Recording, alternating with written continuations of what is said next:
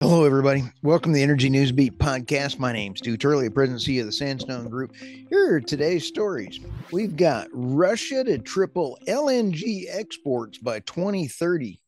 Deputy PM is talking about this. We've got Ford cuts prices of 2023 Mustang Mach E by up to $8,100. Offers 0% financing.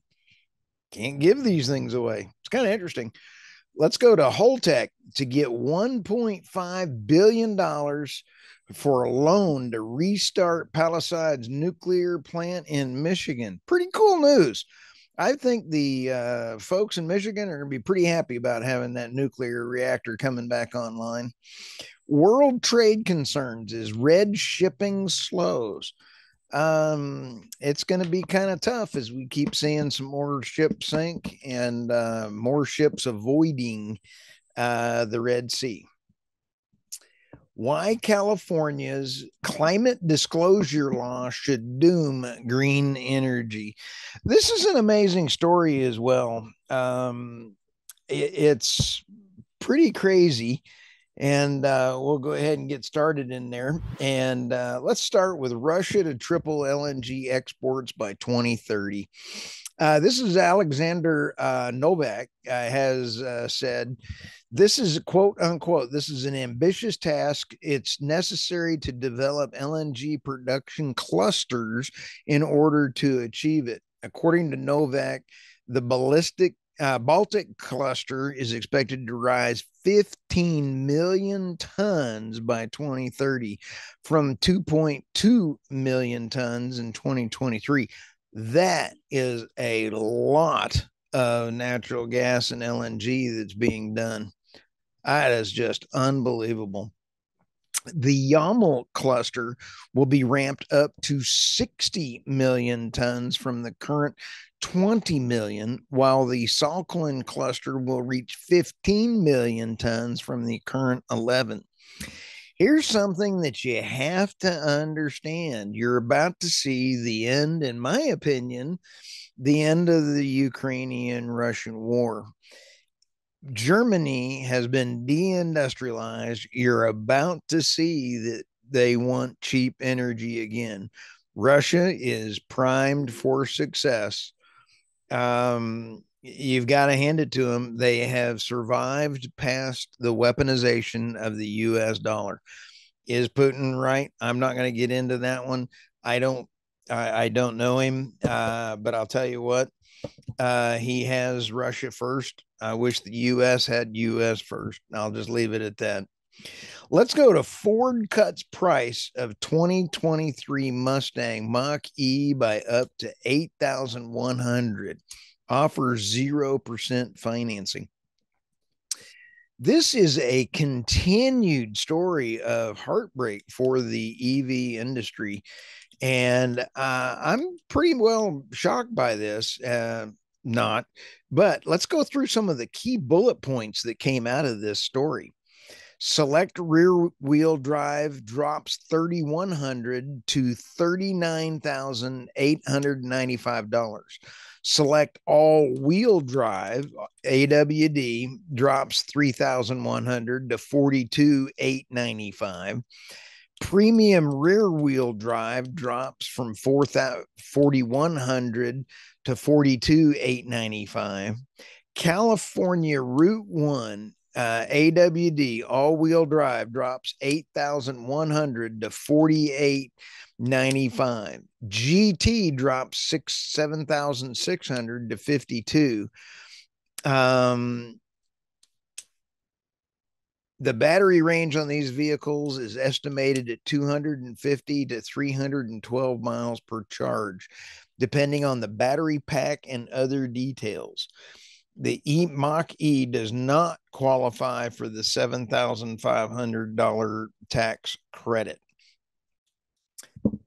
This is just mind boggling to me. So that if they're losing $60,000 as Ford is losing on every single EV that they put out, they can't give these things away at 0% interest and it's going to be 42,000 they're going to lose more money on this this is uh I don't understand why the Biden administration and the motor companies, motor uh, manufacturers don't understand that the US is not enthralled with this I personally would love a second car as a uh, EV. I would prefer a uh, to have the tax credits go with a hybrid. Hybrids to me make a lot more sense. You guys have heard this on the podcast before. Makes sense to me. Hey, let's jump on to some uh, good news here at uh, Palisades Nuclear Plant in Michigan. Holtec to get 1.5 billion loan to restart. This is really exciting. I am happy for uh, the Lake Michigan in Covert Township. The Palisades nuclear facility is a single unit pressurized water reactor and other associated plant equipment. Uh, was permanently shut down by Entergy in May of 2022. Um, Holtec International uh, purchased the Palisade plant in uh, a move to safely and timely decommission. However, in 2023, Holtec pulled a fast one and filed for a application with the U.S. Nuclear Regulatory, the NRC, uh, to reauthorization the restart of operations. I think this is a great line in here. Uh, Holtec International spokesman Nick Culp uh, has been quoted by Bloomberg as saying this is a horrific, uh, hor- a historic opportunity for the country in Michigan. I couldn't agree more. As we transition away from fossil fuels, nuclear is going to be more of a critical part, not only reaching our climate goals, but doing a way that ensures the light stays on. My hat's off to them great job. I hope it goes through. I'm going to look up the CEO of Holtec. You're more than welcome to hop on the Energy Newsbeat podcast, and uh, I'd like to talk to you about nuclear and see what your thoughts are. Let's hop over here to the world trade concerns as Red Sea, Red sea shipping slows. The Maersk container ship sounded, found itself at the epicenter of a sea based attack from four Houthi boats on Sunday, December 31st. This was the first one that they had uh, in there. Since then, uh, there has been another uh, cargo uh, ship that has sunk.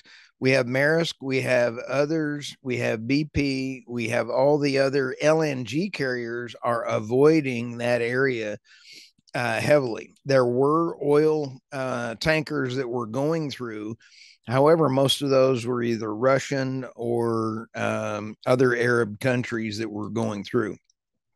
So here's what the problem is is that all of that extra time is now adding weeks three weeks or ballpark could be longer on uh, shipping routes those longer shipping routes get passed on as increased costs to the manufacturers or the goods being delivered, and it is the consumers that are going to be paying the higher price.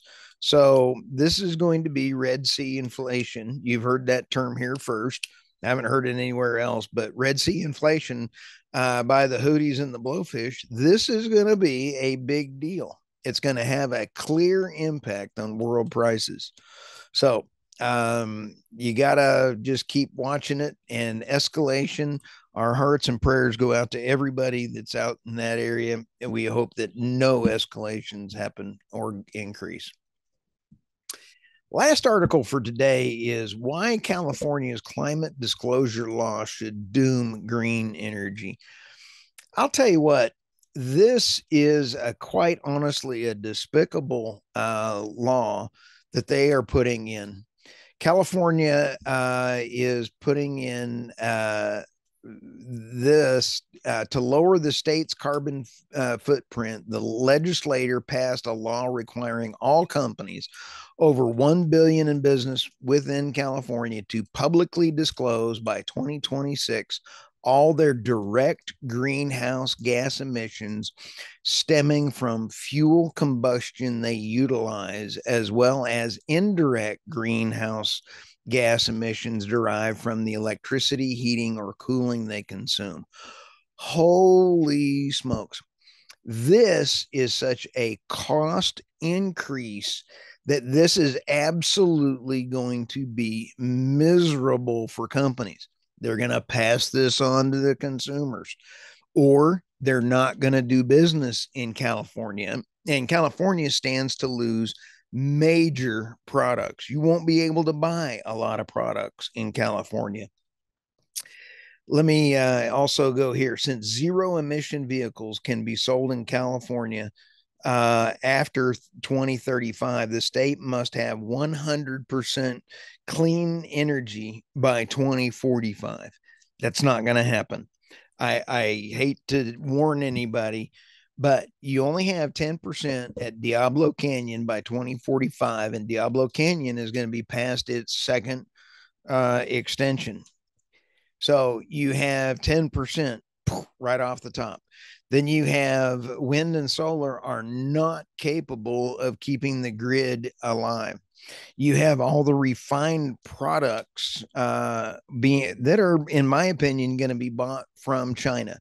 China uh, has, in my opinion, cut deals, and um, they are going to uh, buy refined products from China as opposed to making it in the U.S. with better ESG and less impact on the environment than buying from China. But they would rather buy from China and have a um, a feel good moment rather than understanding that they are hypocritically impacting the environment. So, I, for one, would like to have the lowest kilowatt per hour delivered to all people of the planet with the least amount of impact on the environment. And in order to do that, this law does not impact wind or solar but yet they have even worse impact uh, than does oil and gas and natural gas. How much natural gas, excuse me, how much diesel does it take to mine everything for an EV? How much um, does it take in order to get the cobalt, the carbon, everything else, um, uh, copper? It, none of that is going to be calculated. How much is it going to cost when a wind farm only lasts eight years? And if you're a wind expert and you would like to visit with me on my podcast, please come out. I want to visit with you. I have not found anyone that has refuted those timelines. Wind farms are not fiscally responsible from day one without tax subsidies. They then start failing on an overwhelming uh, note at the eight year mark. And uh, like the Inflation Reduction Act, David Blackman has brought out the big point that you are now able to get those that extra funding if you update these things at the end of when they're ready to be updated at 8 years when the tax subsidies run out. So now the consumer gets to pay for these things twice and it is not doing the environment any good because they are not recyclable. So if we can get wind and solar in a recyclable, technologically friendly way without printing money, I am all in. Please understand, I'm energy agnostic, but natural gas, nuclear, uh, you can't make a iPhone out of uh, a windmill. You can't do it. You cannot make an iPhone out of solar. So I want to talk physics, fiscal responsibility and humanity in a positive way. With that, subscribe, like, share, hug your friends, hug your neighbors, uh, pass this along. And we just appreciate all of the wonderful people that are giving us wonderful reviews, the, the feedback that we are getting. Michael Tanner is hitting it out of the park. And I mean, we are growing like you guys wouldn't believe. So, with that, buckle up and have an absolutely wonderful day. Have a great one.